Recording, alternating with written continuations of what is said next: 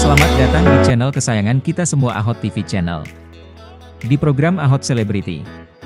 Nagita Slavina, artis sinetron yang juga istri dari Sultan Andara, Raffi Ahmad, mengaku membayar seseorang untuk memijat tubuhnya. Sebagai artis yang memiliki banyak kesibukan antara lain menjadi model, penyanyi, presenter, produser film, dan pengusaha, sudah pasti Nagita Slavina membutuhkan waktu untuk beristirahat dan memanjakan dirinya. Ibu dari Rafathar dan Rayanza Malik Ahmad ini mengatakan bahwa kesibukan yang dia lakukan bukan semata-mata untuk mencari materi namun sebagai bentuk rasa syukur atas nikmat yang telah dia terima selama ini. Alhamdulillah cukup. Hidup kadang-kadang gak cuma materi doang, aku maunya ya cukup aja, ya bersyukur pasti dengan apa yang kita dapetin sekarang. Kalau yang belum didapatin ya yang ada aja deh kita kelola, Kata Nagita Slavina kepada Ruben Onsu yang dikutip Ahok Tim dari YouTube Mob Channel, Sabtu, 8 September 2022. Meski bersuamikan seorang Raffi Ahmad, namun Nagita Slavina yang punya panggilan Gigi, mengaku tak menggantungkan semua kebutuhan hidupnya kepada Raffi. Aku sama Raffi kan punya mainannya sendiri-sendiri. Raffi suka bola, sport, sementara aku punya mainan sendiri kayak makan, fashion dan kecantikan. Ada juga yang dikerjakan bareng. Ya semua dibagi-bagilah ah, ujar Nagita.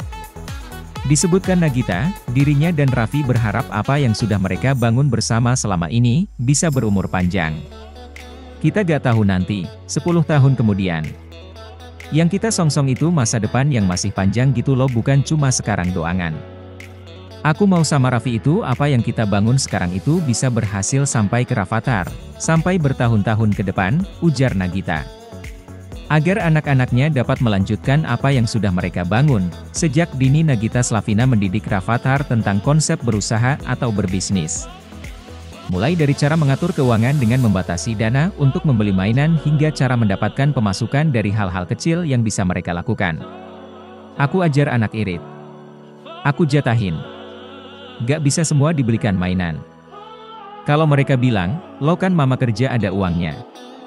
Ya tapi bukan untuk cuma beli itu, tapi banyak kebutuhan, ujar Nagita. Kadang kalau lagi senggang, aku suruh Rafathar untuk pijetin aku. Pijetin mama ya, nanti mama kasih jajan. Aku ajarin konsep usaha. Aku juga suka ajak Rafathar nemenin aku syuting. Sebelumnya aku tanya apakah dia sanggup nemenin sampai selesai syuting? Aku lihat keseriusannya, saat selesai syuting aku kasih reward atas tanggung jawab yang sudah Rafathar berikan, kata Nagita Slavina, bagaimana menurut Anda? Silahkan komen di bawah ini, dan jangan lupa untuk subscribe like dan share. Terima kasih sudah menonton.